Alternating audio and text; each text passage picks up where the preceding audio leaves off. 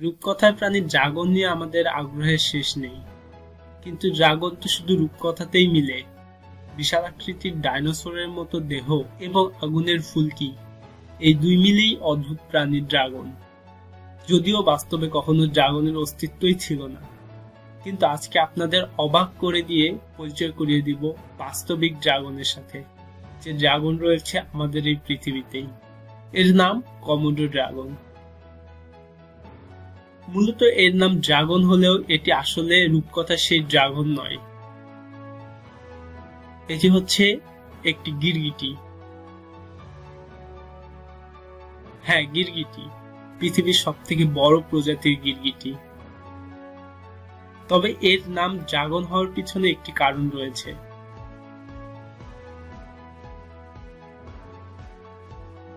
উনিশশো বারো সালে ইন্দোনেশিয়ার কমোডো দ্বীপে বিধ্বস্ত হয় এক যুদ্ধ বিমান বিমানের পাইলট কোন রকমে আত্মরক্ষা করে বাঁচলেও জ্ঞান হারায় তার সামনে থাকা এক অদ্ভুত প্রাণীকে দেখে।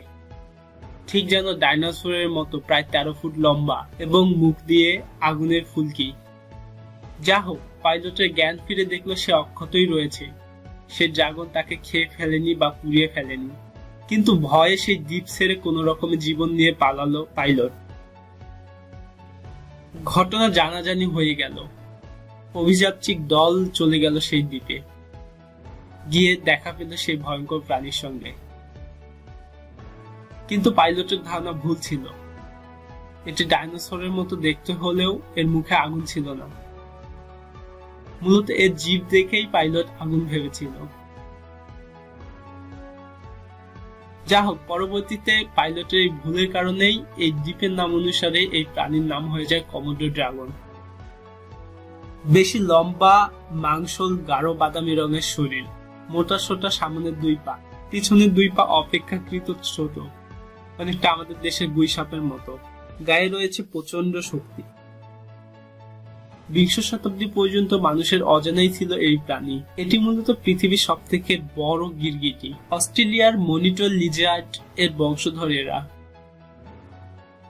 বহু বছর ধরে রয়েছে ইন্দোনেশিয়ায়। তাই ইন্দোনেশিয়ার সরকার এদের আবাসস্থলে শিকার সম্পূর্ণ নিষিদ্ধ করেছে। এই প্রাণী মূলত অত্যন্ত শান্ত, তবে শিকারের প্রয়োজনে এরা ভয়ঙ্কর হয়ে ওঠে। এদের লালায় মিশে থাকে ভয়ঙ্কর ব্যাকটেরিয়া, যা শিকারের ক্ষতর সাথে মিশে শিকারের ওই অঙ্গকে অকেজ করে তোলে।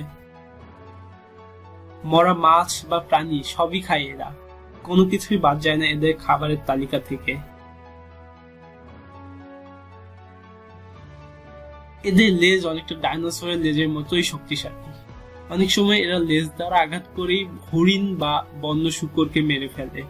তবে এদের পছন্দের খাবার হচ্ছে কুমিরের ডিম। বেচারা কুমির পানিতে নামলেই এই সুযোগ বুঝে তাদের ডিম লোপাট করে। এমনকি এরা স্বজাতিদের ডিমও খেয়ে ফেলে। এই প্রাণীটিকে নিয়ে এখনও গবেষণা চলছে।